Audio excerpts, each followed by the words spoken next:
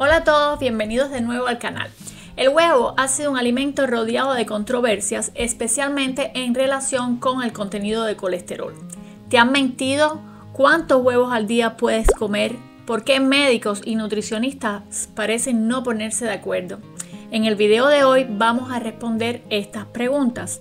Te explicaré lo que dice la ciencia y al final entenderás mejor la complejidad de este tema. Empecemos por la relación entre el huevo, el colesterol y la salud cardiovascular.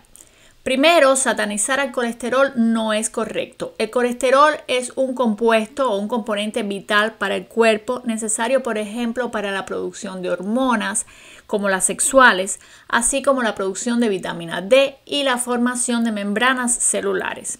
Pero aunque el colesterol es esencial desde el punto de vista de su función, el hígado puede producir la cantidad que tu cuerpo necesita. O sea que no es esencial desde el punto de vista de nutricional, de que dependemos de los alimentos para obtenerlo. No.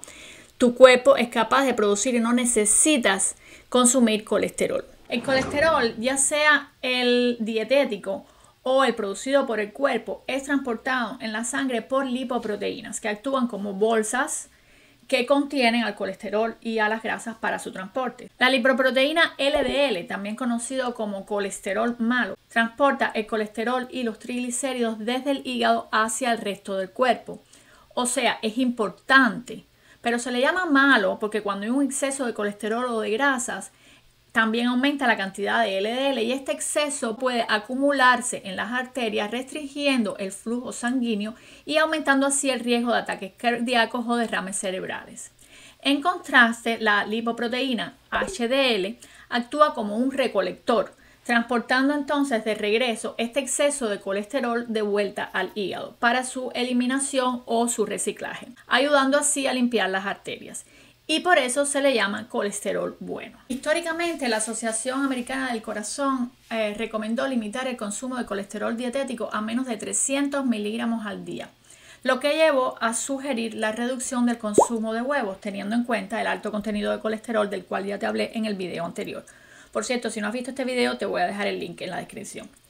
Las pautas actuales no establecen un límite numérico, sino que sugieren el consumo de colesterol o mantener el consumo de colesterol lo más bajo posible y centrarse más en la calidad de la dieta.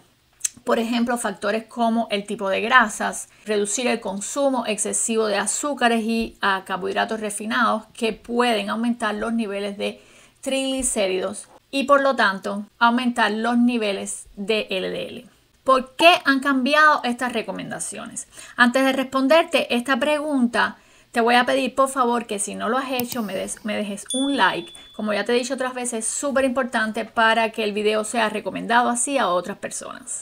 ¿Por qué han cambiado las recomendaciones? La razón principal es que hay investigaciones recientes que demuestran que para la mayoría de las personas, y es importante esta acotación, el colesterol dietético tiene un impacto mínimo en los niveles de colesterol en sangre. Y te voy a hablar de algunas de estas investigaciones. Por ejemplo, en un estudio de 2018, 33 participantes sanos participaron en un experimento de tres días en el que consumieron diferentes cantidades de huevos enteros hervidos. Se midió entonces la absorción de colesterol en sangre y se observó que el colesterol presente en los huevos no se absorbe eficientemente y no afecta significativamente el nivel de colesterol total en el plasma. Hay otro estudio publicado en el 2015 con 25 participantes saludables en el que un grupo no consumió huevos y el otro durante 12 semanas consumió un desayuno que incluía dos huevos. Y al cabo de este tiempo se midieron los lípidos. Se observó que el consumo diario de dos huevos redujo significativamente los triglicéridos y no afectó de manera significativa los niveles de colesterol total, HDL o LDL. Igualmente, un estudio publicado en el 2020 examinó el impacto del consumo de tres huevos diarios en 23 personas con síndrome metabólico, un conjunto de condiciones que aumentan el riesgo de desarrollar enfermedades del corazón, diabetes tipo 2 y otros problemas de salud. Según los resultados de este estudio, no hubo cambio significativo en los niveles de colesterol total, LDL o HDL. Ahora, ¿significa esto que el huevo no afecta a la salud cardiovascular o que podemos comer todos los huevos que queramos? No necesariamente. La realidad es mucho más compleja y te la voy a explicar aquí. Por un lado, como mencioné en el video anterior, del cual te voy a dejar el link en la descripción, los huevos son ricos en determinados nutrientes o compuestos como por ejemplo la colina y los antioxidantes que pueden ser protectores para el corazón. Sin embargo, también hay estudios que indican un aumento del colesterol total y posibles efectos negativos en los niveles de HDL y LDL que son cruciales para la salud cardiovascular. O sea, las evidencias científicas son contradictorias a pesar de que en muchísimos canales aquí encuentras que no. Vamos a ver cuáles son las razones para esto. En 2020, un grupo de investigadores de la Universidad de Irán y de Estados Unidos llevaron a cabo un metaanálisis, que esto es como un análisis estadístico de resultados previos, y ellos lo hicieron con eh, los resultados de 66 ensayos clínicos abarcando un total de 3.185 participantes en los que se estudió el efecto del consumo de huevos en los niveles de colesterol, triglicéridos y las lipoproteínas HDL y LDL en sangre. Los hallazgos de esta investigación o de este análisis estadístico mostraron que el consumo de huevos no tiene un impacto significativo en los triglicéridos, pero puede aumentar el colesterol total y el LDL o sea, el colesterol malo, siendo este más notable en las mujeres. Y aunque el aumento promedio fue modesto, es real, solo, solo 10 miligramos por decilitro de colesterol, este valor puede ser relevante para aquellos cuyo colesterol ya está cerca del límite o que están tratando de reducir sus eh, niveles de colesterol. Además, se observó que cuando se consumía más de un huevo, estos niveles de colesterol de los que te estoy hablando y también de LDL podían ser aún mayores.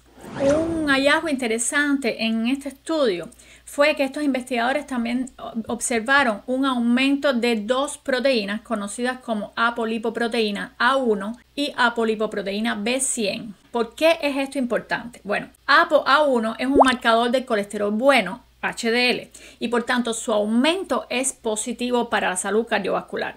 En este análisis que ellos realizaron, eh, observaron un incremento de ApoA1 más evidente en mujeres y en personas con dislipidemia, es decir, niveles anormales de lípidos en sangre. En contraste, ApoB100 es un marcador de colesterol malo o LDL y su incremento se asocia con un mayor riesgo de eh, cardiovascular. Y en este estudio, según el análisis realizado, ellos observaron un aumento más marcado en hombres y personas que tenían obesidad o resistencia a la insulina.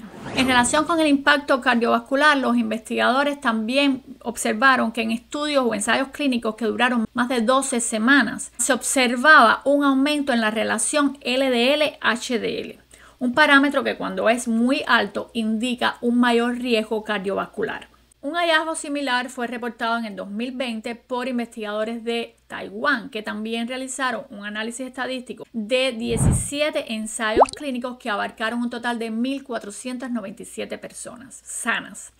Ellos observaron que aquellas personas que consumieron huevos, ya sea uno, dos o tres al día, tenían niveles más altos de colesterol LDL en comparación con el grupo que no consumió huevos, siendo el efecto más marcado en aquellos que consumieron tres huevos diarios. Como resultado, la relación LDL-HDL fue mayor, algo que puede ser preocupante. Hasta aquí, estos resultados nos muestran que, como te he dicho otras veces, en la ciencia las cosas no son blancas ni negras, sino que hay matices. En este caso, nos muestran que, uno, el impacto del consumo de huevos en el perfil de lípidos y por tanto en nuestra salud cardiovascular depende de muchísimos factores entre los que se encuentran, por ejemplo, el género, la condición de salud y la cantidad de huevos consumidos.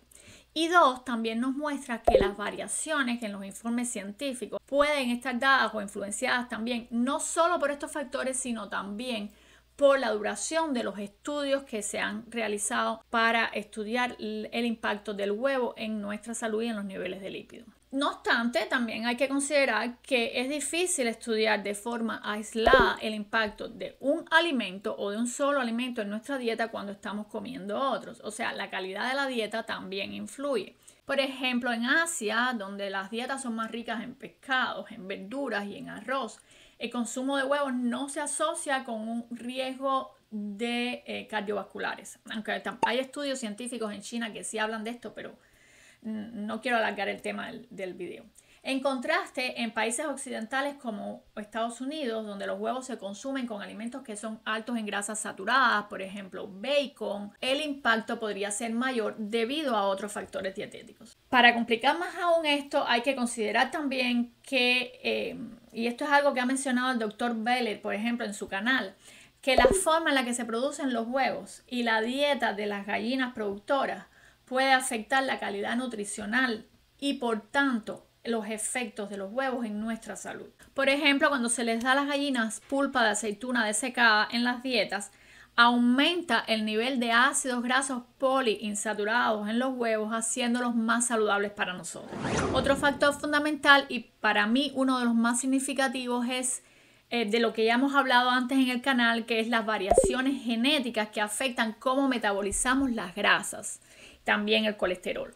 Por ejemplo, el gen que codifica para la apolipoproteína E tiene varias variantes y las personas que tengan la variante ApoE4 de esta proteína pueden experimentar un aumento más pronunciado de los niveles de colesterol en sangre si consumen alimentos ricos en colesterol como es el caso de los huevos.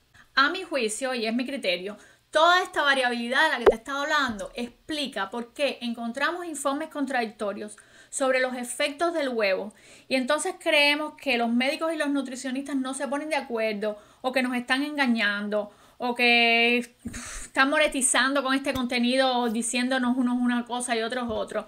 La realidad es mucho más compleja y las recomendaciones sobre consumo de huevo, a mi entender, basado en todo lo que te he dicho, deben basarse en las características individuales. Y bueno, esto es todo por hoy. Espero que este video te haya sido tan atractivo como lo fue para mí crearlo. Déjame saber en los comentarios si tienes alguna pregunta, sugerencia. Eh, no te olvides de compartir el video, eh, dejarme el like. Y bueno, nos vemos en el próximo video. Muchísimas gracias por su atención.